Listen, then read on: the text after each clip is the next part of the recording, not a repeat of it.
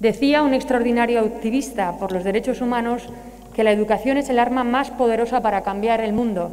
Y en el Gobierno de Navarra también lo pensamos así. Por eso la educación pública, la educación pública de calidad, en todos los niveles es una de las prioridades de este Gobierno. Un objetivo absolutamente alineado también con las prioridades de la Unión Europea y con sus programas Next Generation, que subrayan desde su nombre la importancia, sobre todo, de pensar en el futuro, de pensar en la juventud, un bien social que no podemos permitirnos el lujo de despreciar y a la que debemos preparar para un futuro mejor. Una prioridad que naturalmente el Gobierno puede impulsar, pero que sois sobre todo vosotros y vosotras, estudiantes, profesorado, familias, la comunidad educativa en su conjunto, la que lo hace posible. Y este año ha sido difícil.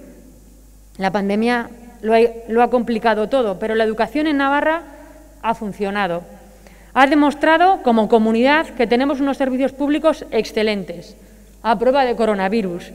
La educación en Navarra ha sido el relato de un éxito, un ejemplo de resiliencia, de colaboración, de trabajo en equipo. Y por eso os quiero felicitar a todos y a todas, desde el consejero y todo el equipo, a los estudiantes, pasando sobre todo por el profesorado, los servicios auxiliares y las familias. Y lo primero que quiero deciros es gracias.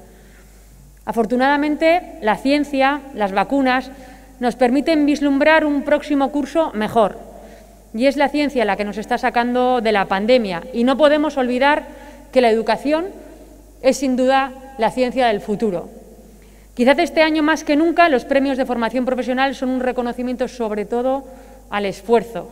Se abre ante los premiados un gran abanico de oportunidades, 31 reconocimientos, a otros 31 alumnos y alumnas que han destacado. Desde luego os felicito y os animo a todos a seguir así.